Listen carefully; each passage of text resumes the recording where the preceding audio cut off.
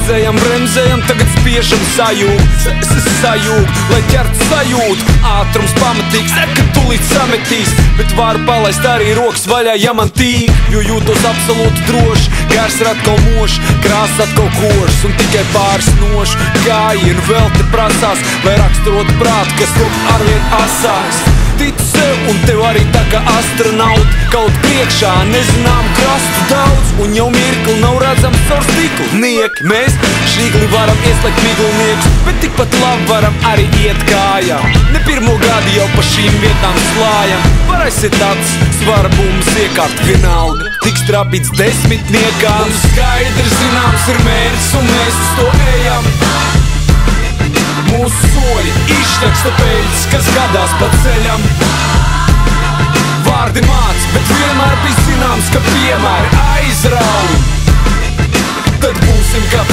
mēs tiem, kas dīkstā vai aizaug De, de, de drosme, paliek šeit kā akmenī kalta Izsliens pilna augumā, te tik stalta Un tas ir manāms manis paustās mīnā.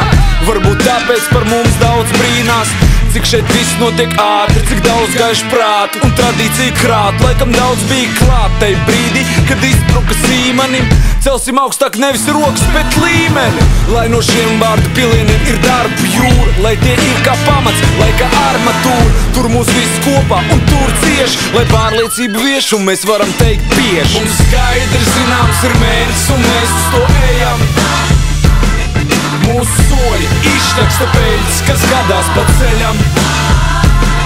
Vārdi māc, bet vienmēr bija zināms, ka piemēri aizrauj Tad būsim kā piemērs mēs tiem, kas dīkstā vai aizaug Pirms vētras klusums bija, jau tas sacīt pieras. Iekšā kaut kas uzjundīja, bet acīs miers. Jo tās pamana gala mērķis siluetu Es it kā pakustos, bet tikai kādu milimetru. Mirkli stāv, lai atcerētos katru Katru sīkumu, kas saistīts ar šo skatu. Stāv prieka pilns absolūtā mierā Jo šis skats man vēlreiz pierāda. Skaidrs zināms ir mērķis un mēs uz to ejam Mūsu soļi izteksta peļķis, kas gadās pa ceļam. Vārdi māc, bet vienmēr bija zināms, ka piemēri aizrauj. Tad būsim kā piemērs mēs tiem, kas dīkstā vai aizaug